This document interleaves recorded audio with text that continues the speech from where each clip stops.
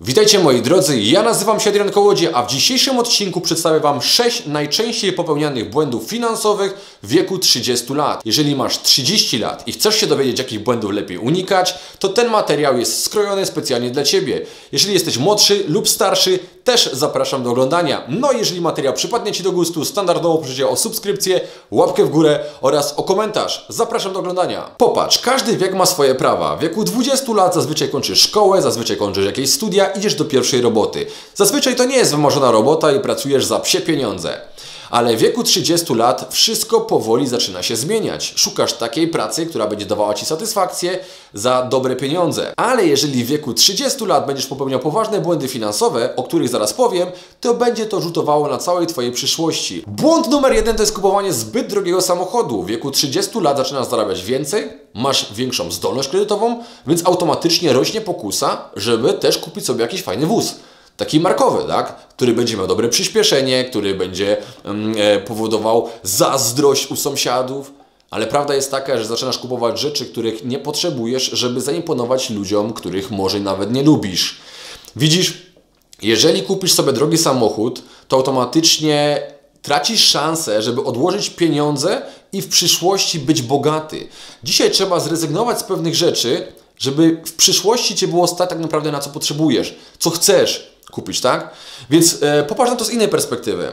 Dam Ci przykład. Miałem kiedyś takiego znajomego, który był górnikiem. Górnicy nie zarabiają jakoś specjalnie dużo, on tam powiedzmy miał 3,5 tysiąca na miesiąc.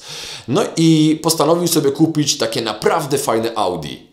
Okazało się, że połowę wypłaty dawał na samochód. On oczywiście był kawalerem, więc można byłoby powiedzieć, że go było stać. Miał świetny samochód, mógł sobie tym samochodem szpanować przed znajomymi, mógł imponować dziewczynom, ale musiał połowę swojej wypłaty oddać na spłatę kredytu.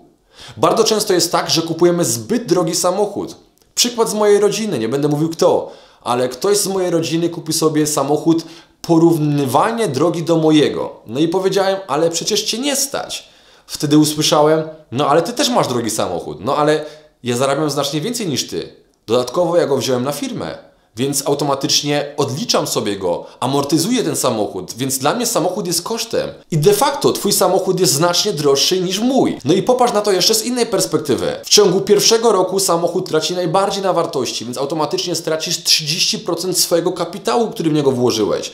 Popatrz również na to, że musisz kupić e, opony, że musisz płacić za przeglądy w autoryzowanym serwisie. To są wszystko koszty. I Ty sobie tych kosztów nawet nie odliczysz. Jeżeli masz firmę, to sobie odliczysz. A jeżeli nie masz firmy, to sobie tego nie odliczysz.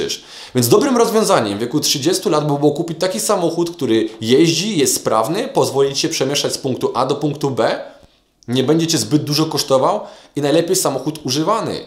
3-4 latek jest jak najbardziej ok. Punkt drugi. W wieku 30 lat zaczynamy myśleć o własnym mieszkaniu lub o własnym domu. I nie ma w tym nic złego, bo każdy gdzieś musi mieszkać. No i oczywiście możesz całe życie wynajmować, co może być nawet dobrym pomysłem na początku Twojej drogi, ale w wieku 30 lat chcesz już gdzieś się ustabilizować i chcesz się gdzieś zakorzenić. I teraz tak, jeżeli kupisz zbyt drogi dom, albo zbyt drogie mieszkanie, to automatycznie znowu nie będziesz miał pieniędzy, żeby po prostu inwestować te pieniądze. Nie będziesz miał pieniędzy, żeby je odkładać. Nie zbudujesz poduszki finansowej. Bardzo często jest tak, że ludzie kupują zbyt duży dom, inwestują w niego zbyt dużo i potem nie mają możliwości, żeby odkładać gotówkę.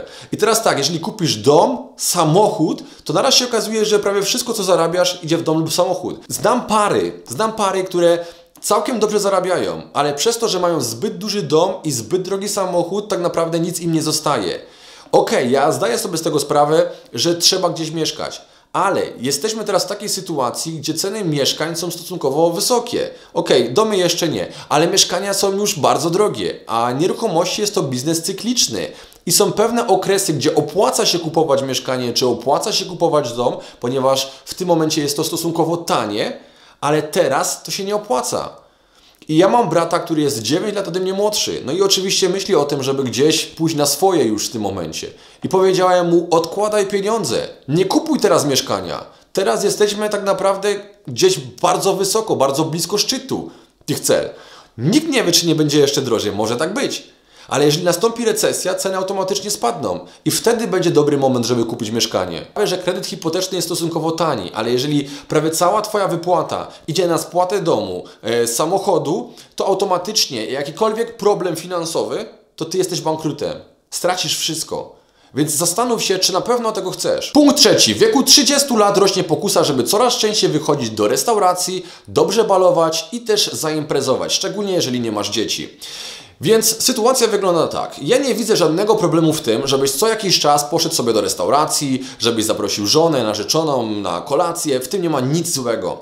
Ale jeśli robisz to zbyt często, to też bardzo dużą część Twojego budżetu domowego stanowią właśnie takie wydatki. Jeżeli zarabiasz bardzo dużo i takie wydatki nie są żadnym problemem, to ok.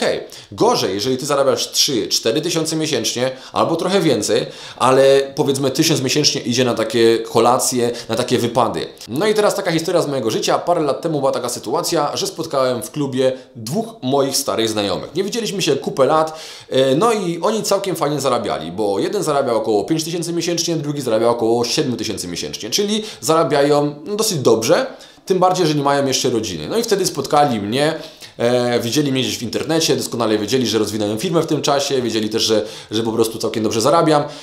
No i oczywiście próbowali imponować tym, ile oni zarabiają. Tam nie tylko oni byli, ale też byli nasi inni wspólni znajomi, no i kupowali najdroższe drinki, wszystkim stawiali, piwa, whisky i tak dalej. Każdy z nich szacuje, że w ciągu tej nocy stracił około 1000 zł. No jeżeli Ty zarabiasz 5000 miesięcznie, to jedna piąta poszła w ciągu jednej nocy. Ja w tym czasie kupiłem dla siebie wodę i kupiłem wtedy chyba piwo z sokiem dla mojej żony, prowadziłem samochód, Moja żona za bardzo nie, nie przypada z alkoholem, no ale to jedno piwo małe tam z sokiem, ok, kupiłem. Y, no i w, w, ciągu tej nocy zapytał mnie ten mój znajomy, dlaczego nie, nie postawisz znajomym, dlaczego nie stawiasz? Ja, ja nie mam problemu z tym, żeby postawić znajomym, ale ja nie uważam, że to jest dobrym pomysłem, żeby w ciągu jednej nocy rozwalić tysiąc złotych, żeby zaimponować znajomym. Ja nie chcę mieć takich znajomych, którym muszę stawiać. Ja chcę im postawić, bo ich lubię, a nie dlatego, żeby im zaimponować, albo co gorsza pokazać, że, że mnie stać. Ty w ciągu, powiedziałem mu, ty w ciągu nocy straciłeś 1000 zł, twój brat tak samo. Jeżeli ty tak będziesz dalej robił, to nieważne ile będziesz zarabiał, ty zawsze będziesz spłukany, bo nie ma takich pieniędzy, których by się dało wydać. Kolejna historia z, z, z, mojego otoczenia. Mam znajomego, który jest lekarzem. On ma tam 30, powiedzmy 2 lata, jest lekarzem, całkiem dobrze zarabia. Nie ma jeszcze dzieci, ale ma już żonę. No i widzę, że co 2-3 miesiące jakieś egzotyczne wycieczki gdzieś za granicą, jakieś w czasy tak? Widzę, że non-stop gdzieś jeździ i z boku można by było pomyśleć, go stać, on ma fajne życie, taki to pożyje, tak? Wszyscy tak będą mówili. Ale jeżeli by sprawdził jego stan konta, okazuje się, że on nic tam nie ma. Bo zazwyczaj jest tak, że tak, ci ludzie jeżdżą, uważają, że trzeba z życia korzystać, bo kiedyś będzie za późno, ale kiedy będą mieć 40, 50, 60 lat i zdolności do pracy, do pracy będą coraz to mniejsze, naraz się okaże, że oni w wieku 30, 40, 50 lat nic nie zgromadzili, nic nie mają. Oni są w tym samym punkcie, w którym byli w wieku 30 lat albo nawet w wieku 20 lat. Więc trzeba też myśleć o przyszłości. Punkt czwarty. Bardzo często jest tak, że ty jesteś oszczędny, a druga połówka jest nieoszczędna. Lubi wydawać pieniądze, lubi e, kupować drogie rzeczy, lubi jeździć na dobre wakacje i tak dalej. Ja osobiście uważam, że w takim przypadku trzeba ze sobą rozmawiać, trzeba się dogadać, pokazać jakie e, masz cele, żeby te cele były wspólne. Nie może być tak, że Twoim celem jest oszczędzanie, gromadzenie kapitału, zarabianie pieniędzy, a celem Twojej drugiej połówki jest wydawanie pieniędzy i życie w tak zwanym luksusie. Bo w tym momencie Wasze cele się będą rozbiegały, będziecie mieli zbieżne cele, a jeżeli ludzie idą dwoma różnymi ścieżkami, to to nie jest dobre dla małżeństwa, dla związku. Więc przede wszystkim uważaj, żeby e, dobrze się dogadać z drugą połówką. Szukaj ludzi, szukaj tą drugą połówkę, jeżeli jeszcze jej nie masz, która będzie miała podobne nastawienie, podobne priorytety i będzie ceniła podobne wartości. Gwarantuję Ci, że w życiu Ci będzie znacznie łatwiej. Punkt piąty. Nie używaj kart kredytowych. Nie jestem przeciwnikiem kart kredytowych. Ja osobiście uwielbiam karty kredytowe, ale większość z Was nie powinna nigdy tych kart w ogóle e, uruchamiać. Dlaczego? Karta kredytowa jest świetna. Karta kredytowa powoduje, że mogę pod koniec miesiąca, bo jak będę nią płacił, policzyć na co po prostu wydałem pieniądze. Dokładnie. Ja takie rzeczy robię pod koniec miesiąca. Po drugie, buduję zdolność kredytową, więc jeżeli chcesz się lewarować w przyszłości, to karta jest pod tym kątem świetna. Ale Problem polega na tym, że ludziom brakuje dyscypliny. I jeżeli ty nie będziesz na czas spłacał e, debetu na karcie, to będziesz miał jeden z najdroższych kredytów, który jest dostępny na rynku i możesz wpaść w spiralę długów. Karty są świetne dla kogoś, kto jest mega zdyscyplinowany. Ja wszystkie swoje wydatki zapisuję w arkuszu. Liczę pod koniec miesiąca dosłownie każdy swój najmniejszy wydatek. Więc karta dla mnie jest błogosławieństwem. Dla Ciebie prawdopodobnie nie. Punkt szósty. W wieku 30 lat nie myślimy, co będzie w wieku 70-80 lat. Medycyna idzie do przodu. Nasza długość życia się wydłuża, przynajmniej statystycznie. Jest spora szansa, że dożyjesz tego wieku. Oczywiście może Cię trafić piorun, ale szansa, że trafi Cię piorun jest stosunkowo mała. Większa szansa jest, że dożyjesz wieku 70 powiedzmy lat, tak? Może 70, 80 będzie Ci dane, to będziesz po prostu żył jeszcze dłużej. Ale w wieku 30, 20 lat nikt nie myśli o tym, co będzie potem. Bawmy się, imprezujmy. Teraz jest świetny okres, czujemy się młodzi i możemy sobie pozwolić. Ale jeżeli będziesz miał takie podejście, carpe diem i nie będziesz myślał o swojej przyszłości, to wieku 70-80 lat, 80 lat obudzisz się z ręką w nocniku. Więc myśl teraz o swojej emeryturze. Prawdopodobnie dostaniesz al albo w ogóle nie dostaniesz emerytury, albo dostaniesz jakąś śmieszną emeryturę. Wtedy będziesz stary, schorowany, nie będziesz mógł już pracować i będziesz żył z tego, co zgromadzisz, kiedy jesteś młody.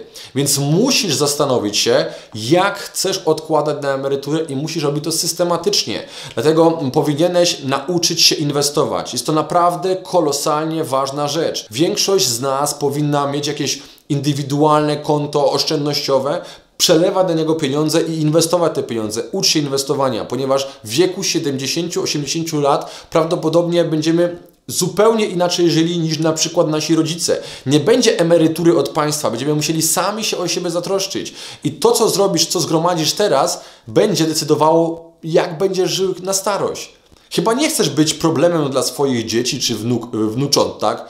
Więc zadbaj o swoją przyszłość już dziś. Mam nadzieję, że ten materiał był dla Ciebie bardzo pomocny i nie będziesz popełniał podstawowych błędów, które robią 30-latkowie. A teraz zapraszam Cię do kolejnego materiału, w którym pokażę Ci, jak stać się bogaty niezależnie od wieku. Więc zaraz wyświetlę Ci film, w którym pokażę Ci 9 kroków do zarobienia naprawdę potężnych pieniędzy. Trzymaj się, hej!